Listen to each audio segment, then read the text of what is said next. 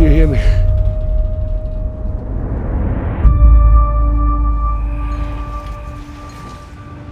Hello. Do you understand English? Can you squeeze like this? Squeeze.